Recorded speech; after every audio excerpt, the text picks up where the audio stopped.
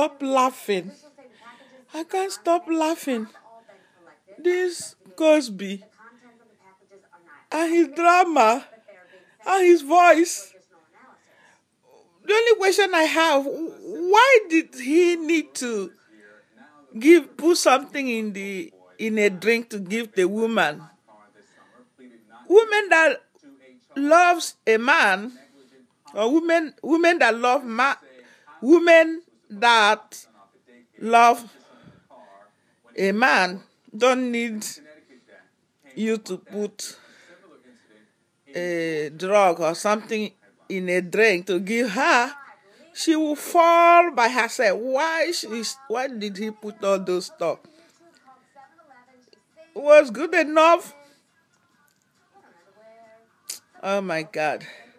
I was laughing on my bed trying to sip a, a coffee a coffee mixed with tea Look at where I landed. The whole thing pour my pour my bed.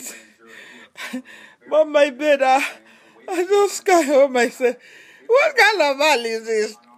Please, you people should forgive this man. Let a priest pray for him. The wife has forgiven him. We are we. He's our Solomon of our day. Hey! It uh, Cosby? I don't know how to call your name. You are such, such a soft, wicked man. Don't do it again. No. I have prayed for you. Don't do it again. To let today be, be the first and last you ever touch a woman that does not belong to you. Okay?